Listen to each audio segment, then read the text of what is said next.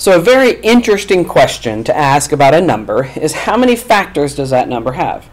Um, there are some numbers that we know it right away. For instance, a prime number implies that there are two factors. Every prime, the definition of prime, uh, prime number is any number that only has two factors, the number and itself. Um, if you take a number like 12, how many factors does 12 have?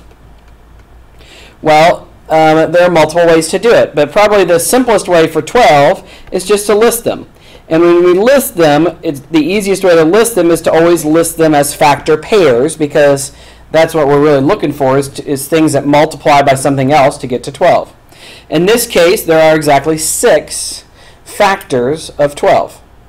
And listing out all the factors of a number is very simple for small numbers like um, uh, number like 12 or even 20 or even, even pretty much almost anything under 100. It's pretty easy to just list them out. However, like most, most good number theory problems, there is a very clever, interesting algorithm that can work. Um, and I'm going to show you the algorithm. I'm going to touch on why it works.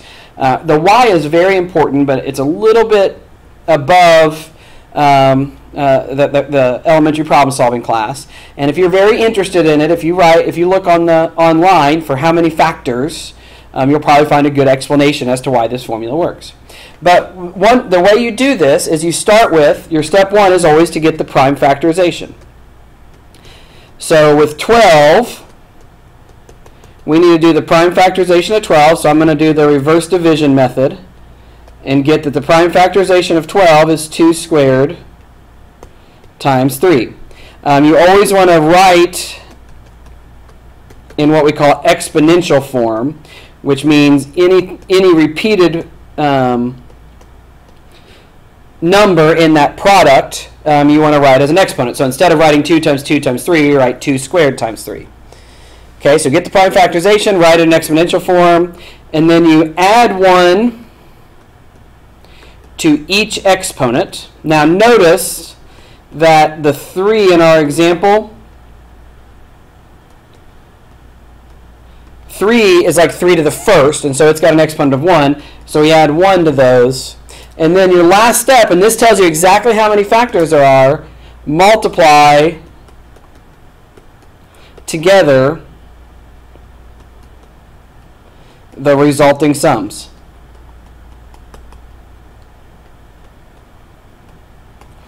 So in this case, you get 3 times 2. 3 times 2 is 6, which was the answer.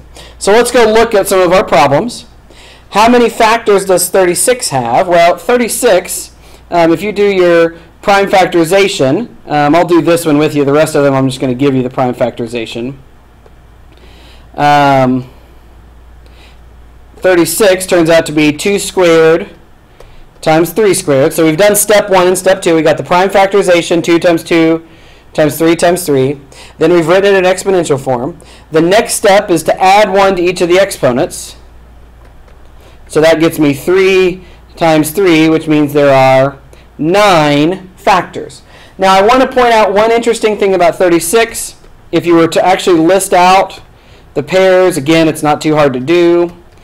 If you notice, that factor pair there, because 36 is what's called a perfect square, that means that there's only one 6 that's a factor. So um, even though you've got five factor pairs, there's only nine factors because the 6 only gets counted once. And what that tells you is a perfect square always have, perfect squares always have an odd number of factors. So perfect squares have an odd number of factors. All right, moving on to 240.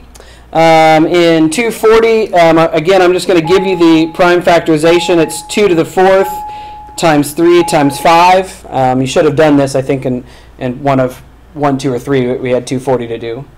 So the next step is to add 1 to each of the exponents.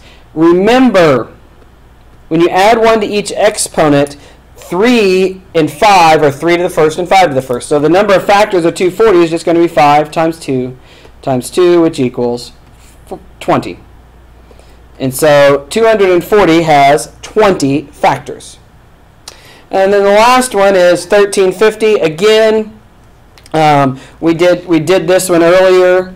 Um, 1350. Um, if you if you do your um, prime factorization, you should you should already have this one, um, and it, it's going to be. And so you're going to end up with 2 times 3 cubed times 5 squared. Add 1 to each exponent. That gives you 2 times 4 times 3, which is 24 factors. Now, if you're curious as to why this works, let me just explain briefly. Um, if you have 2 to the first, you, you, what we can do is we can write all the exponents that are greater than or less than that uh, or le less than or equal to 2 to the first. And then so 3 to the third, we'd, we'd write like this. And 5, we'd write like that. And we write these exponents like this because every single factor of 1350 can be found using these um, one from each of these columns. Like for instance, it's very clear that 50 is a factor of 1, 1350.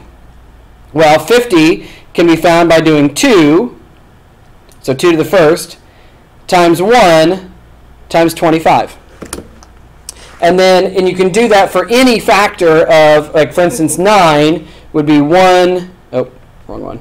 1 times 3 times 9 times 1 gives you the factor 9. So any factor can be found by taking 1 from each column. There are 2 things in this column, 4 things in that column, 3 in that column. So by adding 1, you're essentially summing up those columns. And then by fundamental theorem of counting, you just multiply those together to get the total number of possibilities. So that's why you can look more into that later if you are interested.